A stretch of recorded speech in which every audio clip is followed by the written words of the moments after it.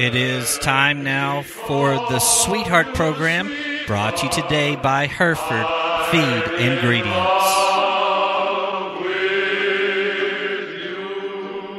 Ruth Kimbrell was working at her grandfather's cafe in Fredericksburg, Oklahoma, when she met a frequent customer, a cowboy from Muleshoe, Texas, Bunt Kitchens, and that is where it all started. Bunt was working training horses in the area at that time.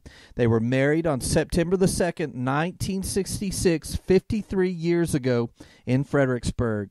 She came to Muleshoe as a bride. Ruth was born in Marshall, Arkansas on March the 3rd to Eugene and Willadine Kimbrell. She had two sisters and three brothers.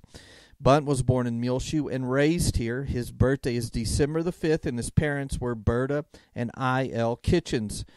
He had three sisters and a brother.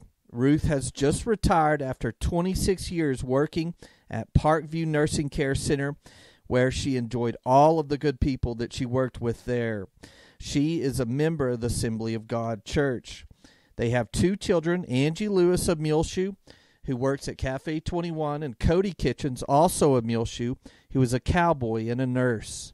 She has four grandchildren, all of them boys, and also has two stepdaughters and one stepson. Bunt has been very successful at training barrel horses, but he is now retired. Happy retirement to our sweethearts, Ruth and Bunt Kitchens, and God bless you.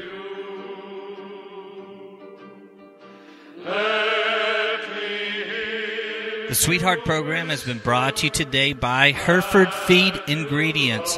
You can find it on muleshoetv.com on our website. Click at the, on the Sweetheart link at the top of the page. If you'd like to nominate someone to be our sweetheart here on muleshoetv.com, call 806 272 3990. We need a short biography and a picture.